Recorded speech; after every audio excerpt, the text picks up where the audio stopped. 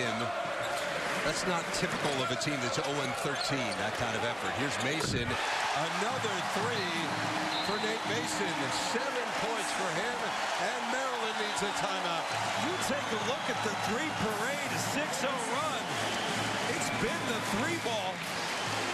Terrific effort so far from Minnesota, and Maryland has just not had an answer. Nate Mason's been tremendous.